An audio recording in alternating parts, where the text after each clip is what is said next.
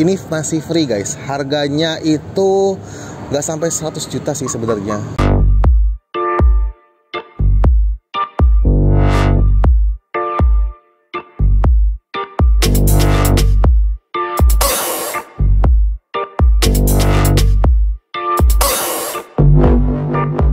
Oke guys, selamat datang di video Panala. Saya Fikar. Nah, kita di video kali ini bakal review satu unit tahun 2015. Di sini uh, plat L ya, yang kemarin nanya-nanyain plat L ini ready ya. Satu unit sudah upgrade lagi. Gitu ya. Untuk upgrade apa aja kita langsung ke unitnya ya.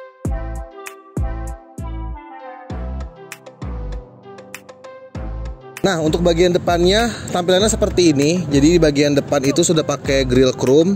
Terus juga dudukan plat nomornya yang model seperti ini. Kesannya sangat mewah ya kalau pakai yang kayak gini. Terus juga di sini sudah pakai fog lamp yang bohlam. Gitu ya. Untuk bagian depan simpel aja seperti ini. Ini seperti Vios G sih, cuman headlampnya memang belum diganti gitu. Kita lanjut ke bagian samping ya. Nah untuk bagian samping tampilannya seperti ini ya uh, sudah pakai spion retract terus juga di sini ada emblem VVTi sama ini yang baru nih. Ini baru pertama kali kita pakai velg Christ Ring 17 ini bannya baru ya.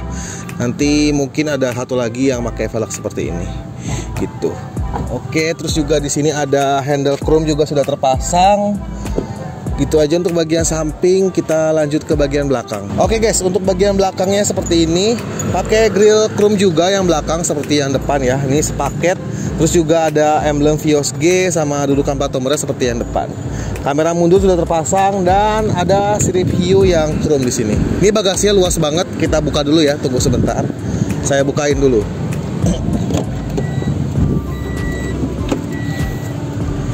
Jadi enak banget nih bagasinya luas bisa muat koper banyak kalau buat mudik terus juga uh, bisa masuk troli sepeda kecil pun juga bisa. Kemarin kita pulang kampung juga naik Vios ya.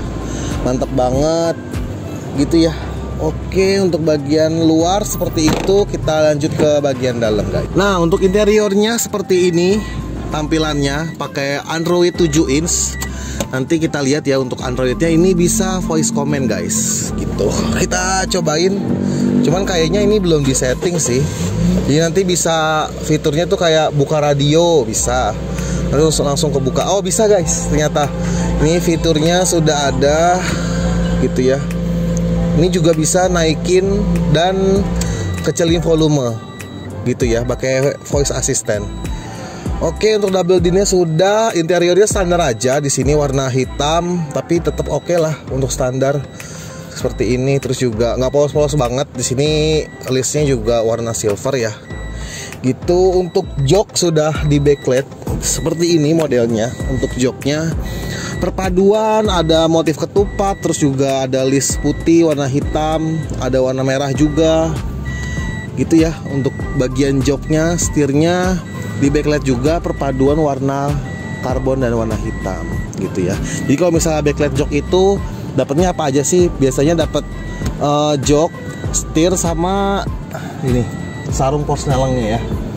Itu untuk bagian dalam juga remote alarm apa alarm kunci sudah dipakein ya ini. Oke terus juga power window sudah terpasang ya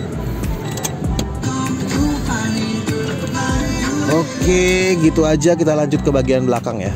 Nah, untuk bagian belakangnya seperti ini ya. Motifnya sama aja dengan yang bagian depan, terus juga di sini ada kantongnya juga. Power window juga sudah terpasang. Oh, mati. Kuncinya mati ya. Terus juga untuk bagian seat belakang itu sabuk pengaman ada tiga ya. Jadi untuk dewasa dua sama satu untuk anak kecil. Gitu ya. Untuk interior seperti itu. Ya, untuk mobil ini seperti ini ya, untuk eksterior dan interiornya dan unit ini masih free guys. Harganya itu nggak sampai 100 juta sih sebenarnya. Ini di angka 99,9 guys. 999 gitu ya. Kalau ada yang mau bisa langsung bisa kontak nomor kita di bawah ini. Ini masih free nih mumpung nih udah upgrade dan sudah jadi surat-suratnya plat L tahun 2015 ya. Gitu. Oke, terus juga beberapa unit standar juga masih bisa jadi kalian juga masih uh, bisa request ya. Untuk harga standarnya kita saat ini ya untuk saat ini itu tahun 2015 di 95 juta OTR-nya terus di 2014 OTR-nya itu di 90 juta. Biasanya uh, ada diskon lagi sih. Untuk 2015 itu diskonnya jadi 81600 untuk 2014 nya harganya diskon jadi 76500 untuk yang plat B untuk yang plat L jadi 76600 gitu ya. Jadi kalau kalian yang mau bisa langsung kontak di bawah ini ya. Mau update seperti apa gitu ya. Bisa hubungi Mas Dwiko, Mas Sinong atau saya sendiri. Gitu. Oke sampai jumpa ya di video selanjutnya guys